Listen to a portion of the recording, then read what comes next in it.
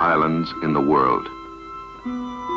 A volcanic outcropping, it sits alone more than 2,000 miles off the coast of South America. And west of it in the Pacific, no landfall for another thousand miles.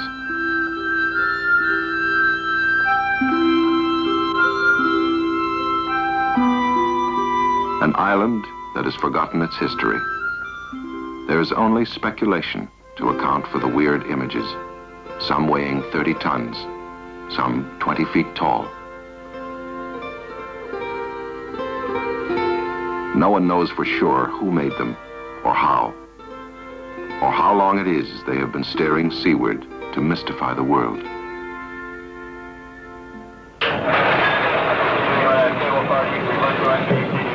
It was a beautiful morning, December 13th, 1964.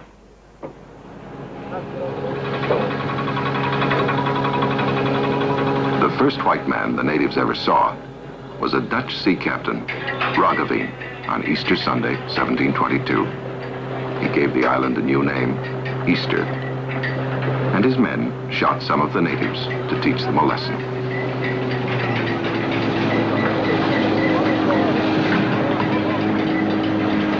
What were these invaders up to?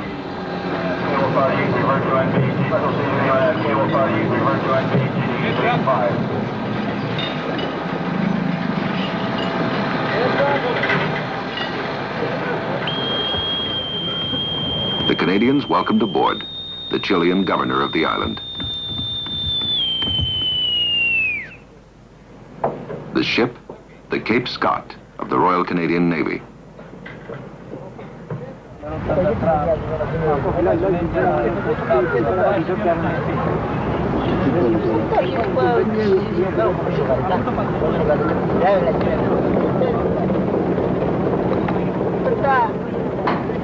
This time, the invaders were expected.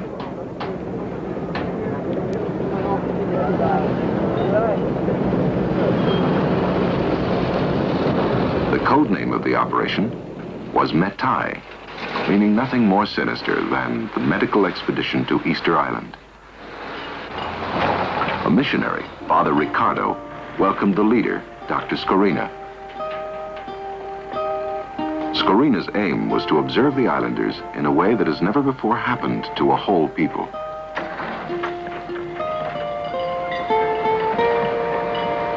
Skoryna is a professor at McGill University.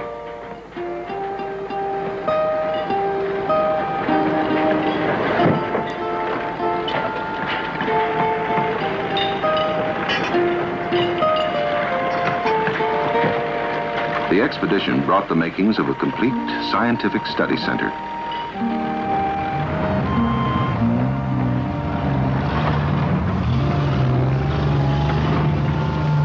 It included 24 collapsible trailer units. These were so ingeniously devised that within days, a whole new village had risen in a field near Hangaroa, the village of the natives.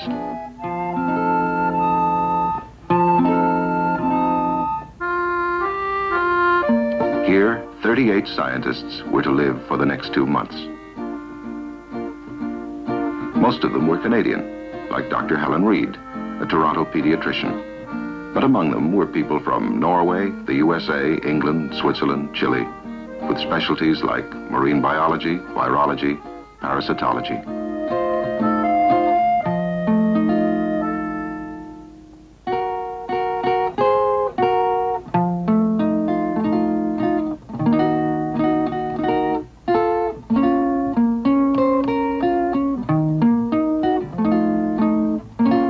Choose this island to observe?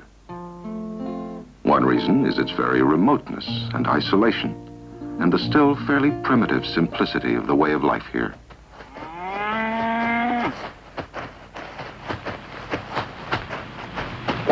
They grow corn as cattle feed. They raise some vegetables, but the soil is generally poor.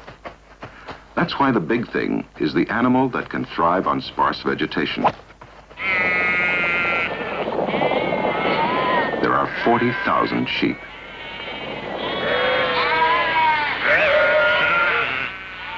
The island has been described as a wool factory for Chile. The wool is shipped off to the mainland when the supply boat calls once a year. For the islanders, once a week is Mutton Day.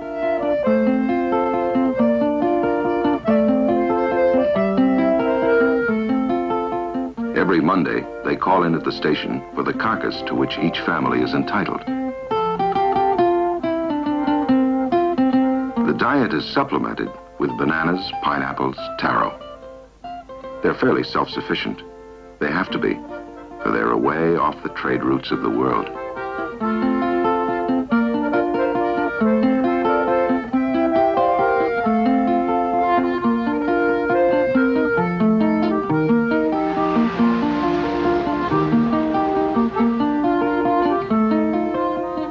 December 17th, a doctor from California put a mark on the wall of Pedro Patano's home. It was the beginning of a census.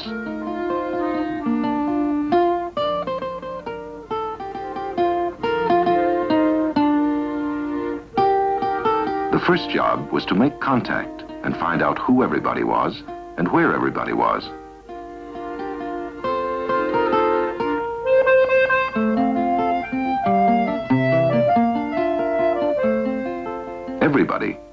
Out to be 949 islanders.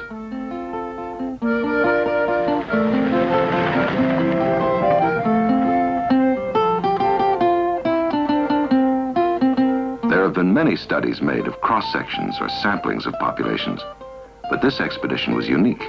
Its aim was to study a total population, every man, woman, and child,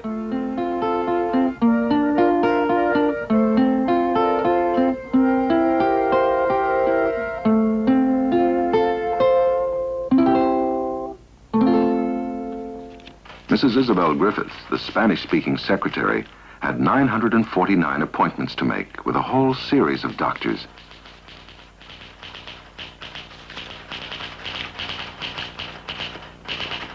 The kids particularly could hardly wait for their turn, and the first to be examined were the stars of the show. They could tell the other kids waiting outside about all the strange things the doctors asked them to do.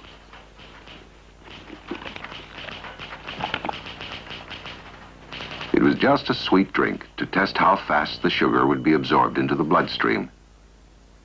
The interpreter tried to explain why they were asked to do these curious things. But few of the islanders could understand why these strangers should be so interested in them. Most of them were delighted, of course, but the whole thing did seem to be something of a joke. Dr. Skoryna wrote, I have never met more friendly, honest, or intelligent people. Yet the islanders have had so terrible a history that it is surprising that any are left to study. The first white men found 4,000 islanders, but they brought white men's diseases to people without immunity. The ancestors of this infant were captured by slavers and died in servitude in the mines of Peru. Tribal wars broke out. By 1870, there were only 111 Easter Islanders left. Like the Indians of Newfoundland, the last of whom was shot down for sport, as a people, the Easter Islanders should have vanished from the face of the earth. Yet there was enough strength in them to make a miraculous comeback.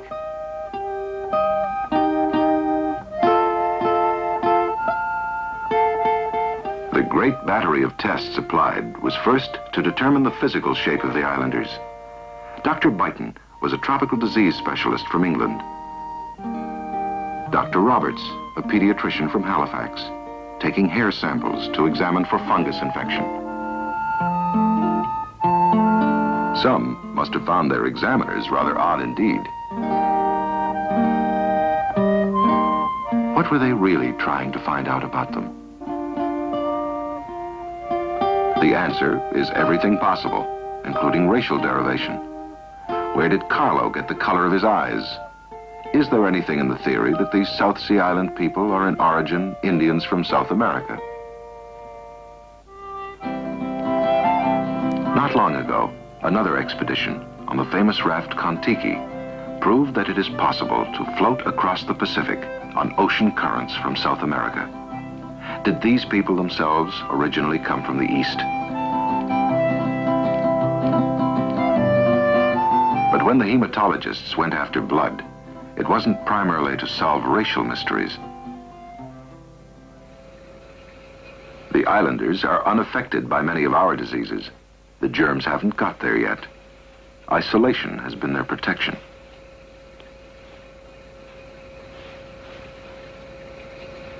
Vast ring of empty sea around them has tempted few visitors. Now there are plans to build a modern airport. Their isolation will be over. It is an urgent necessity to learn everything about them now, before that happens.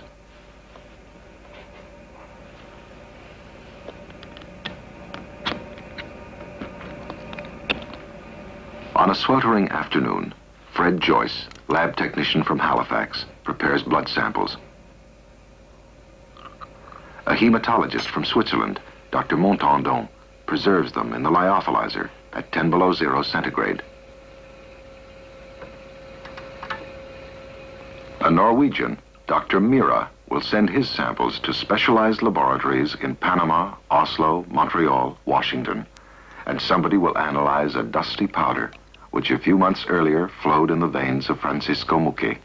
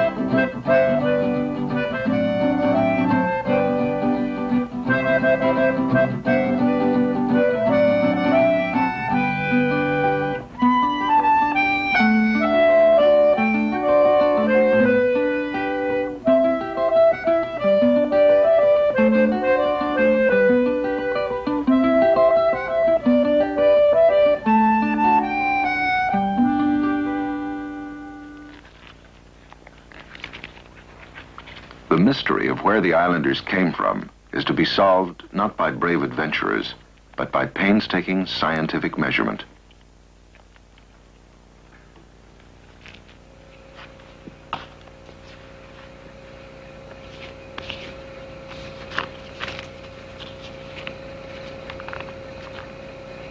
Evidence is piling up that the islanders came originally from the west, that they are basically Polynesian. They are true South Sea Islanders, not only by geography, but by race.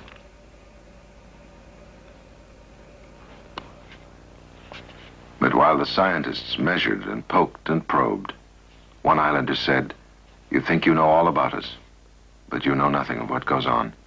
You go around all day with your eyes closed. Events were brewing that could mean failure of the mission.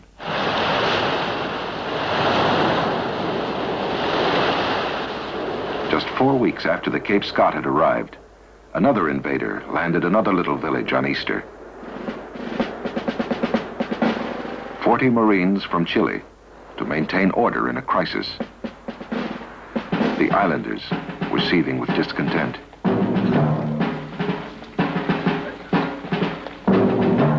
A few islanders are sent to the mainland for higher education.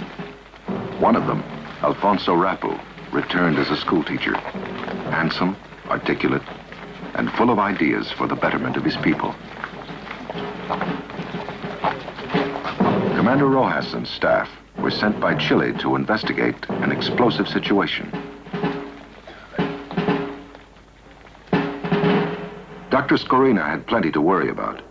They had made all their arrangements, of course, through the Chilean governor who administered the island. What if Rapu turns the islanders against us, innocent bystanders though we are? There were rumors that Rapu's assistant had been shot, that Rapu himself was now in hiding. And for the moment, Commander Rojas seemed in no mood to come to terms with those who questioned the right of the Chilean Navy to administer the island, however benevolently. The islanders had grievances. They tell us we are part of Chile, but we have no voice in the government. And then, when things had reached fever pitch, Rojas decreed that a free election was to take place.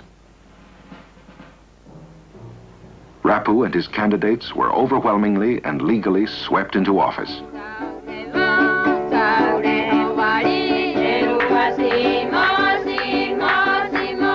They celebrated with the best Sao Sao feast in years. The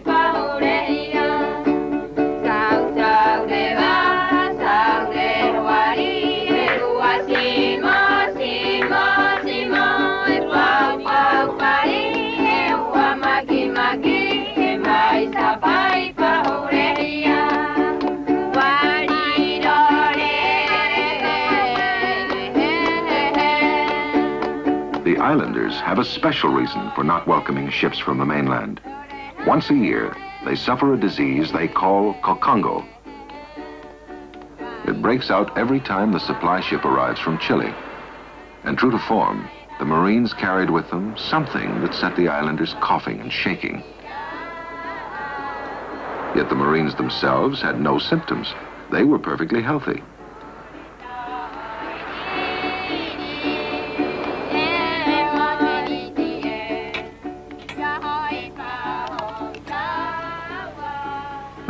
Armand Boudreau of the Microbiological Institute of Montreal worked far into the nights on the riddle of Kokongo. It was a good bet that the unwelcome visitor to the island was a virus lodged in the throats of the Marines. Once you've made a culture in which a virus can multiply, you can study it. They were on the trail of a medical mystery. If it is a common flu virus, why hadn't the Cape Scott brought it? Certainly it is virulent for the 10 days it takes to travel from Chile. Supposing the journey took four weeks, like the Cape Scott, would the organism they were bottling still have its power to invade the islanders?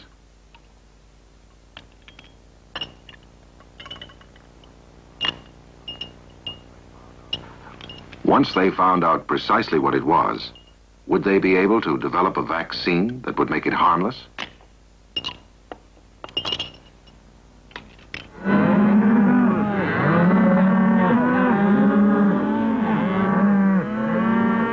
might well ask why a veterinarian from Macdonald College, a specialist in animal diseases, should be included in the expedition. Dr. Murphy was to find that the cattle were entirely free of tubercular infection, but were host to bacteria which cause a form of dysentery common among the children on Easter.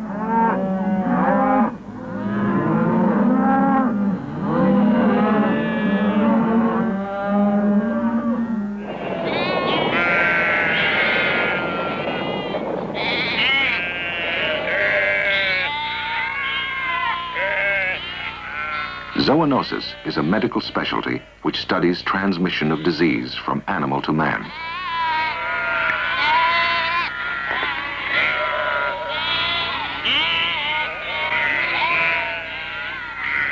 The whole island was like a laboratory in which they were trying to track down any element in the environment, however unexpected, that might throw light on the physical capacities of the islanders themselves. The one test the men found most absurd was the bicycle that didn't go anywhere, in charge of Dr. Ekblom, a Swedish physiologist.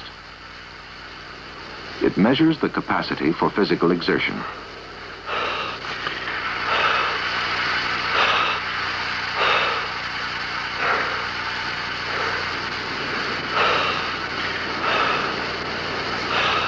Though they are willing and cheerful, the islanders haven't much physical endurance. Is it constitutional? A hereditary weakness? Or is it related somehow to the environment? Has it some connection, perhaps, with diet? One of Skoryna's reasons for choosing Rapa Nui, as the natives call their island, was that it is small enough to get to know the total environment thoroughly. The island was mapped into small squares and a soil sample taken from each so as to get the total picture.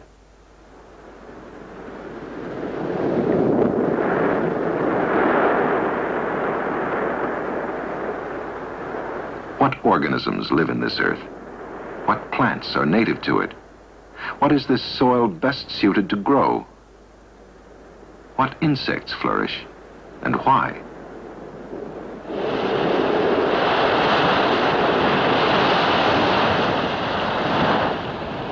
Even the sea must be known, for an island's total environment includes the waters around it.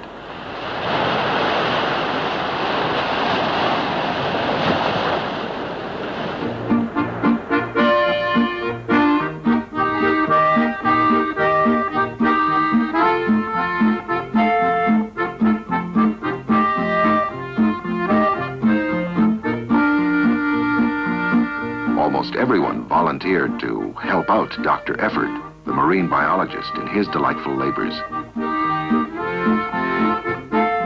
Two score experts trying to build up a picture of a total environment. They gathered thousands of specimens, thousands of facts, and the job of correlating was so involved it could only be handled by computers. Fine the net of environmental science, it can catch only one kind of secret.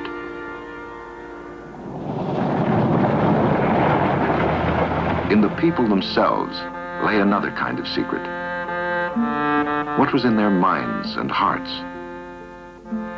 The interpreters were busy providing a bridge between islanders and sociologists. Why did many of them say they wanted to leave the island and go to Chile or Tahiti? After a while, the investigators were astonished to find many claiming they would like to move to Canada, though they had never heard of it before the expedition came.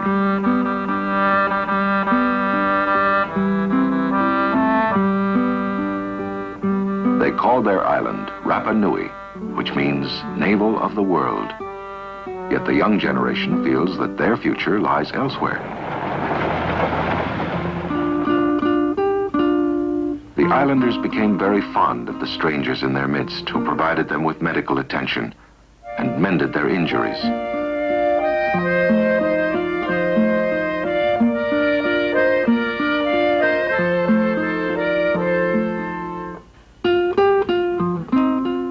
During the expedition's stay, the population of Easter increased by three.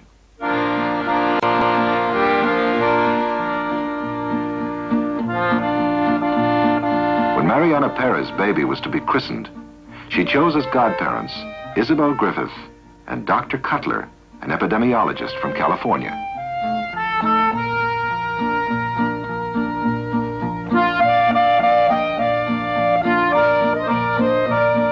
The following Sunday, they gave Dr. Skoryna a feather headdress, for he had been chosen as godfather for the second new arrival, christened Elena.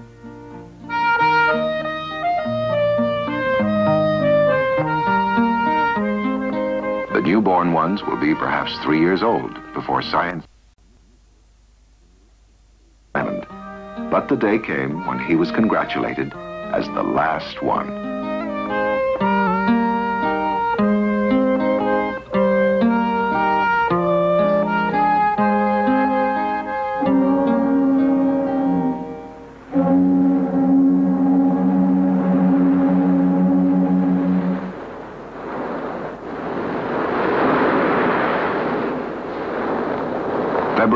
15th, and time to say goodbye for now.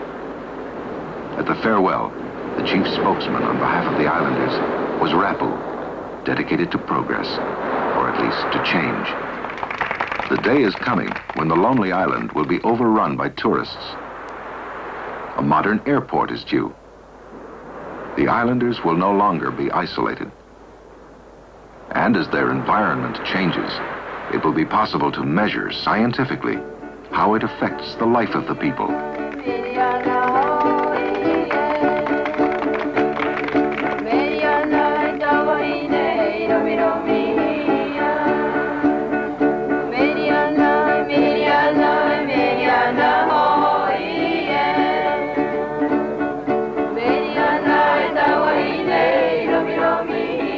In 30 years on the island, Father Sebastian has seen few changes.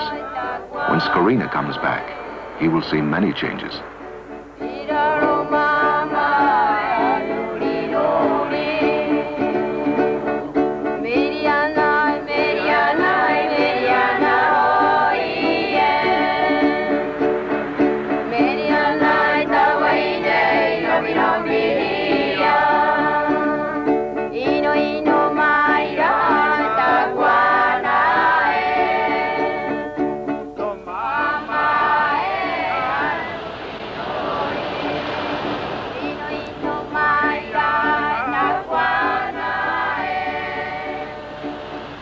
Circulated wild and strange stories in connection with the images.